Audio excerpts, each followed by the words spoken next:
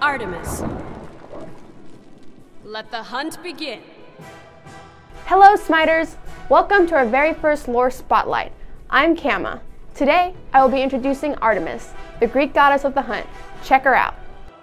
Daughter of the mighty Zeus and Leto, Artemis and her twin brother Apollo are the products of Zeus's infidelity to his wife Hera. Obviously insulted, Hera cursed Leto while she was pregnant, forbidding her to give birth on land or sea. Fortunately, she found an island that did not touch the ocean floor, so it was neither land nor sea, and thus bore her children, Artemis and Apollo. Artemis spent her childhood in the hills and forests, training with her bow and hunting beasts. As she grew older and more saucy, she also grew to be a proud virgin and ruthless when slighted or dishonored, especially against those who claimed to be better hunters than she.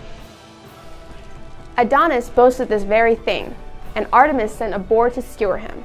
Yes, just like her ultimate. Sexy, deadly, and chaste, Artemis is a fearsome warrior and a focused woman. Now that we know more about Artemis, let me tell you about her creation here at the studio. As previously mentioned, Artemis is an awesome huntress, so we decided to look at sexy women, other gods, and other video games for inspiration.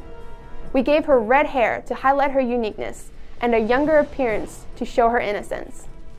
Because she is a huntress and likes to roll around the mud and run around the bushes while looking fabulous all day, her armor had to suit her personality, which means wild child plus nature lover plus tree hugger equals sexy green beast loving ginger huntress. A key step in creating a god is to think about what role we want this god to play. Artemis, who is physically ranged, needed a way to escape enemies ASAP, which means more slows, more stuns, more traps.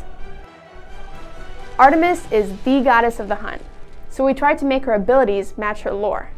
After tons of research, we made sure she had a trap and slowing ability. After reading about Adonis getting owned by her boar, we decided to include this into her ultimate.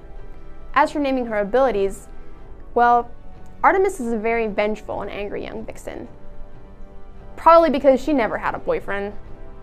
Hence her abilities Transgressor's Fate, Vengeful Assault, and Suppress the Insolent. For Artemis specifically, it took about 4 weeks to create the actual model and 5 weeks to release her in-game. Thanks for watching guys and smite on!